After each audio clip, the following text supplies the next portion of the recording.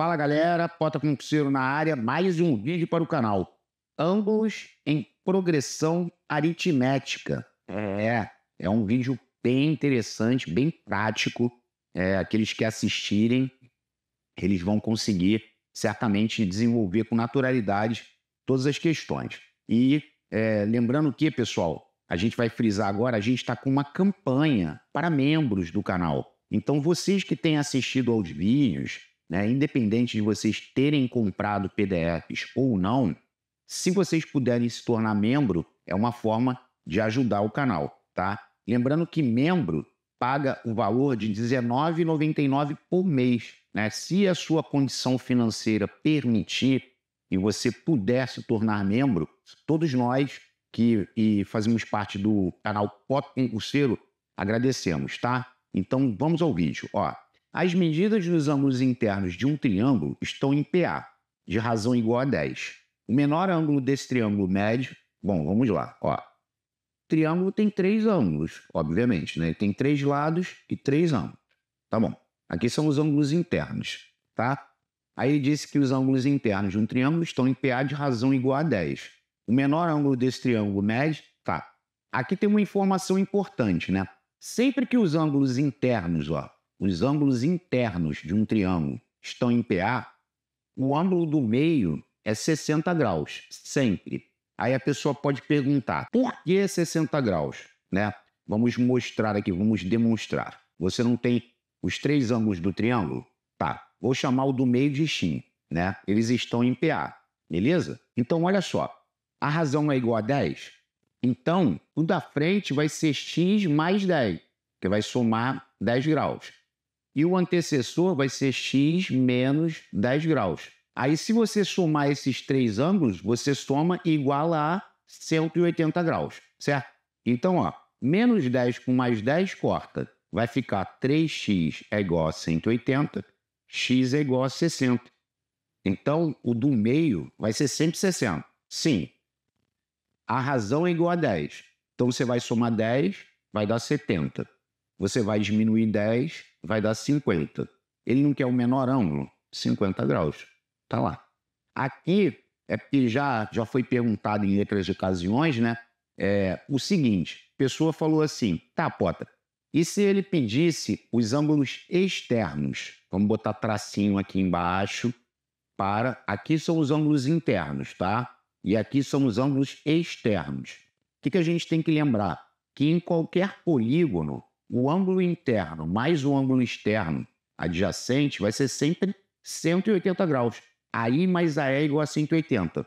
Então, a partir do momento que você descobre os três ângulos internos, se você quisesse saber cada ângulo externo correspondente, basta diminuir de 180. Então, ó, 180 menos 50, 130. 180 menos 60, 120. E 180 menos 70, 110. Vai ser sempre assim, vai. Vamos lá, segue o baile. Olha só. Aqui no início eu insisti, depois vão aparecer outros diferentes, tá? Mas vamos lá, ó. As medidas dos ângulos internos de um triângulo estão em PA de razão igual a 20. O que, que eu vou fazer? É, o do meio é 60. Ok, sempre. É.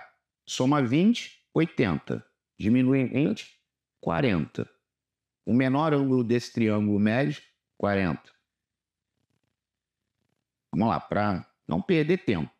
Ó, as medidas dos ângulos internos de um triângulo estão em PA de razão igual a 30. Então, o do meio é 60. Somou 30, 90. Diminuiu 30, dá 30. 30, 60 90. Então, o menor ângulo é 30. Agora, é prático, né? Quer ver se tem gente que, sabe? Ah, vai ser só isso, Pop? Não, vai mudar, daqui a pouco ponto é diferente. A medida dos ângulos internos de um triângulo estão em PA de razão igual a 40. Então, o ângulo do meio é 60. Aí somou 40, deu 100. Diminuiu 40, deu 20. Então, o menor ângulo desse triângulo é 20. Ah, então show. Beleza. Vamos lá. Agora, Aqui já mudou um pouco. Ó. As medidas dos ângulos internos de um triângulo em ordem crescente formam uma PA. Aí eu fui e botei lá os três. Eles formam uma PA. Então esse aqui é 60. Ok. Então, eu vou chamar esse aqui do maior, tá joia? E esse aqui é o menor. Ele disse assim: a medida do maior desses é o dobro da medida do menor. Ó, a medida do maior desses ângulos é o dobro da medida do menor. O menor não foi o último a ser mencionado? Aí tu chama o menor de x. O maior vai ser 2x. Tá vendo? Aí o que, que você faz? Soma, ó, x mais 60 mais 2x, que é igual a 180. Aí x mais 2x vai dar 3x, que é igual a 180 menos 60. Então vai ficar 3x é igual a 180 menos 60 vai dar 120. Então x vai ser 120 por 3, 40. x é 40. Então esse aqui é 40 e esse é 2 vezes 40, 80. O que, que ele está pedindo, Pota? O maior ângulo interno desse triângulo médio, o maior ângulo interno médio, 80 graus. Tranquilo, né? Suave na nave. Tá, vamos lá, segue o baile. Aí aqui, ó, outra. Sejam A, B e C as medidas dos ângulos internos de um triângulo. Aí ele disse: se a sequência ABC é uma progressão aritmética, aí você já deu o tapinha aqui, ó. Olha o que eu vou dizer. Esse aqui é A, esse aqui é B, esse aqui é C. O do meio é 60. Show. E ele disse que C é igual a 4A. Né? Se o C é igual a 4A, pensa, se eu chamar o A de X, o C é 4A, então ele vai ser 4X. É uma possibilidade. Agora, o que, que eu vou fazer? Eu vou somar tudo, ó, x mais 60 mais 4x, que é igual a 180. Então, a x mais 4x dá 5x, que é igual a 180 menos 60. Então, vai dar 5x igual a 120, tá? Então, o x vai ser 120 dividido por 5. O x vai ser igual a 24. E ele quer saber, ó, então A é igual a. O A eu não chamei de x, então o A já é o 24. Letra B. Ah, e se ele pedisse esse? Então, ó, esse aqui deu 24 graus. O C é 4 vezes x, então seria 24 vezes 4. 4 vezes 4, 16, 4 vezes 2, 8, 9. Então, esse aqui seria 96 graus.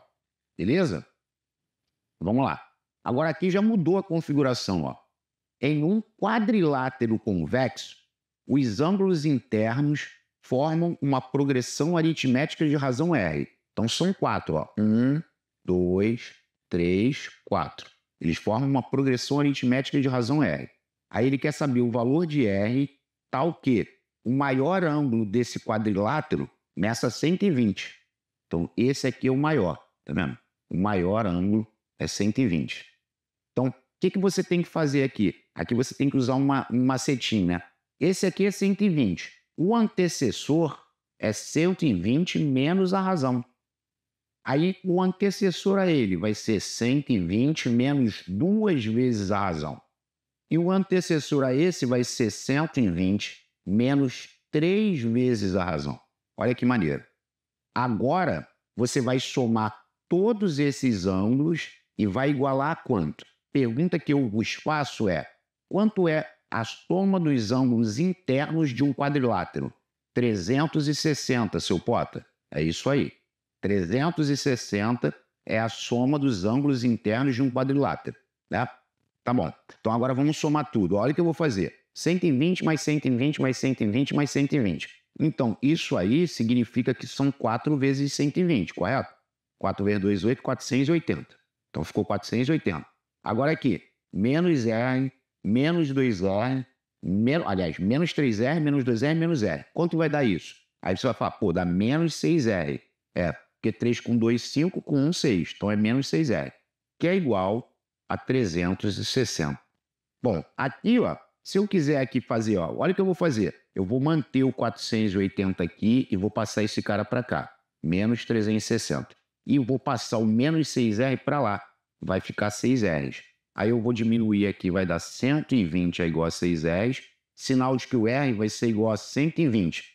Esse 6 que está multiplicando passa para cá dividindo. Então o R vai ser igual a 20. R igual a 20. A razão é 20? É.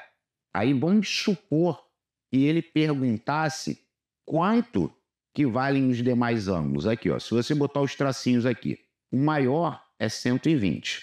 Aí diminui 20, vai chegar a 100. Diminui 20, vai chegar a 80. Diminui 20, vai chegar a 60. Aí essas seriam as medidas, essas seriam as medidas nos ângulos, beleza? E às vezes ele pode falar isso e pedir a você quanto mede o menor deles. Aí tu vai falar, pô, o menor vai ter que medir 60, né? A resposta seria 60, né? Depois que a gente substituiu, né? Beleza, vamos lá. Número 8. A número 8 é parecida com a anterior. Tá vendo? Ó, ó, em um pentágono convexo, os ângulos internos formam uma progressão aritmética de razão R. Só que agora é um pentágono. Ó. Aí eu botei 1, 2, 3, 4, 5. Beleza. Lembrando que, aqui, ó, antes de mais nada, eu vou colocar aqui. A soma dos ângulos internos de qualquer polígono é n menos 2 vezes 180. Essa é a fórmula para você achar a soma dos ângulos internos, né? Porque, por exemplo, do triângulo, o n é 3. Aí 3 menos 2, 1. Uma vez 180, 180. Se for um quadrilátero, o n é 4. Aí 4 menos 2, 2. Vezes 180, 360. Se for um pentágono, o n é 5. Aí 5 menos 2, 3. 3 vezes 180, 540. A soma dos ângulos internos de um pentágono é 540. Tá vendo? Tá aqui, né? Aí ele disse, ó, é praticamente igual, ó. O valor de R tal tá que o maior ângulo desse pentágono nessa 128. Então ele está dizendo que o maior é 128. O que vem antes é 128 menos R. Aí o outro é 128 menos 2R. Esse seria 128 menos 3R. E esse seria 128 menos 4Rs. Olha só, que tem uma parada engraçada depois, né? Aí eu tenho que somar todo mundo, ó, somar todo mundo e igualar a 540, que é a soma dos ângulos internos de qualquer pentágono, né? Ó, 1, 2, 3, 4, 5. Vou fazer 128 vezes 5. 5 vezes 8, 40, vai em 4, sobre 2, 10 e 4, 14, vai 1, 5 vezes 1, 5 e 1, 6. Então deu 640. Agora aqui, ó, menos 4R, menos 3R, menos 2R, menos R vai dar menos, ó, 4, 1, 3, 7. 1, 2, 9, 1, 10. Porque aqui tem 1 escondido, né? Aí então vai ficar menos 10R, que é igual a 540. Aí eu vou manter o 640 menos 540 e vou passar o menos 10R para lá, como eu fiz anteriormente, certo? Aqui vai dar 100 igual a 10R. Sinal de que o R é igual a 100 mil por 10. Um corta logo zero, né? Vai dar 10. Aí tu fala, pô, pô, a razão é 10? É. Agora, deixa eu mostrar vocês uma outra maneira. A resposta é 10. Uma outra maneira de fazer essa questão, né? Ó, 1, 2, 3, 4, 5, certo? Ele disse que o maior era 128. Olha que questão maneira, engraçada, né? Não são cinco ângulos, são cinco ângulos. Então tem um ângulo do meio, o ângulo central, que é esse.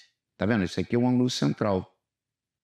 Dá para descobrir ele sem precisar fazer isso tudo, porque se tem uma quantidade de termos ímpar, haverá um ângulo central, um termo central. Bastava eu pegar o 540 e dividir por 5. Olha só, abaixo o 5. Uma vez 5, 5 para 5 nada. Não pode baixar o 40, tem que baixar um cada vez agora. Baixa o 4. Dá zero, porque não pode dividir, e abaixa o próximo. Aí dá 8. Então, 540 reais dividido por 5 dá 108. Então, esse 108 graus aqui é o do meio. Olha só, é o do meio. Aí vamos supor, aí como é que eu faço para descobrir a razão aqui? Olha que maneiro. Eu posso diminuir esse menos esse e dividir por 2. Olha a doideira. Se eu quiser fazer 128 menos 108 e dividir por 2, eu acho a razão. 128 menos 108 vai dar 20. 20 dividido por 2 vai dar 10. Então a razão é 10. Então olha só, 108 mais 10, 118. 118 mais 10, 128. Mas eu acho a razão sem precisar fazer essa conta toda. É interessante isso, bem interessante. Ok, agora vamos lá. A número 9 é espetacular. Porque olha só, a número 9 diz um ângulo de um triângulo equilátero, ó, um ângulo de um triângulo equilátero. Se eu colocar aqui, ó, vamos pensar aqui, aqui é um triângulo equilátero. Triângulo equilátero é aquele que possui os três lados iguais.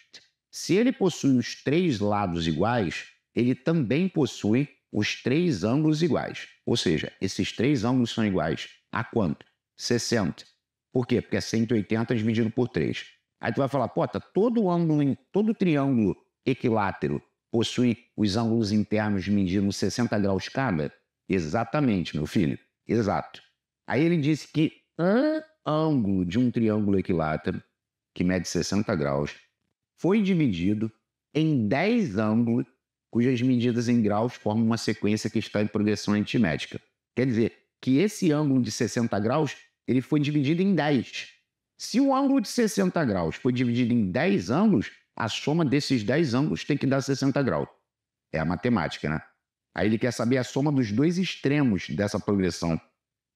Porque olha só, ela tem o primeiro termo e tem o último. O número de termos é 10. O N é 10. Beleza. Aí o que, que eu fiz? Olha só. A soma da PA, que eles formam uma progressão aritmética, a soma dessa PA é 60. Porque se um ângulo foi dividido em 10 ângulos, a soma desses 10 tem que dar 60. Não é isso? Como é que é a fórmula da soma da PA? A1 mais AN vezes N dividido por 2, que é igual a 60. Eu só substituí a fórmula. Então, o primeiro termo eu não sei quem é, o último é o décimo, vezes o número de termos é 10, isso tudo dividido por 2, que é igual a 60. Pota, pode cortar o 10 com 2? Pode, 10 com 2 dá 5. Então, passando para cá, eu teria A1 mais A10, e já é o que ele quer, que ele quer a soma dos extremos. Os extremos, os termos extremos, é de uma ponta e da outra. Ou seja, é o primeiro e o último. Né? Vai ser 60. Concorda que aqui está multiplicando por 5? Se eu quiser pegar esse vezes 5 e passar para lá, é porque vai passar dividindo. Então vai ser o primeiro mais o décimo, que são os termos extremos, é 60 dividido por 5, 12 graus. Ou seja, o gabarito é delta. Essa é muito maneira. Mas muito maneira sim, demais da conta. Tá, bora aqui. Número 10, olha essa. As medidas dos ângulos de um pentágono formam uma progressão aritmética. Olha só. 1, 2, 3, 4, 5. Formam uma progressão aritmética. Então, necessariamente, um deles sempre mede quanto? Então, essa questão, eu vou mostrar aqui o porquê, né? De você falar, a soma dos ângulos internos é 540. Então veja bem, isso é uma quantidade de termos ímpar. Eu chamo de x o do meio. Aí, para a direita, crescendo, seria x mais r e x mais 2r. Decrescendo é x menos r e x menos 2r. Quando eu somar esse povo todo e igualar 540, perceba que eu vou poder fazer cortes. Ó, menos R com mais R corta, menos 2R com mais 2R corta. Ou seja, sobrou 5x é igual a 540, então o x vai ser 540 dividido por 5. Então o x vai ser 108 graus. Então, essa questão é dada. Ah, pô, tu não precisava fazer nada disso, era só dividir 540 por 5. Eu só estou demonstrando até que de dividir 540 por 5. Então, independente de quanto seja a razão, o termo central vai ser sempre 108 graus. Se a razão for 10, for 20, for 12, não interessa. Beleza? Tá. E agora, a última de hoje dessa brincadeira. Ó, a última de hoje. Os ângulos internos de um triângulo estão em PA. Aí você foi lá e falou, tá, os ângulos internos de um triângulo estão em PA. Aí tu botou 60 aqui. Sabendo que o maior deles mede 105. Olha só, o maior deles mede 105. Ele quer saber a razão da PA. Bom, para fazer a razão, é só diminuir esse menos esse. Quando você tem termos consecutivos, se você diminui um termo menos o seu antecessor, você acha PA. Ou seja, então aqui é o terceiro menos o segundo. Então a razão é 105 menos 60. Então a razão é 45. Ah, então a razão é 45, é. Aí vamos supor que você fale assim, Pota, se ele tivesse querendo saber quanto vale o primeiro, seria 60 menos a razão. 60 menos 45 vai dar 15. Ah, então tá. Então, ó, 15 aumentou 45, foi a 60. Aumentou 45, foi a 105. Lembrando que, como é um triângulo, a soma ela tem que obrigatoriamente dar 180 graus, porque senão tem alguma coisa errada na nossa conta. Valeu? Se você gostou e puder deixar o like, eu agradeço. Quem desejar adquirir os PDFs, comprar os PDFs do canal, é só entrar em contato através do WhatsApp para comprar os PDFs com o objetivo de imprimir, fazer e assistir a correção através do meu YouTube. E quem tiver condição financeira para se tornar membro do canal, a gente também agradece. Valeu? Um forte abraço a todos e até a próxima. Valeu, pessoal!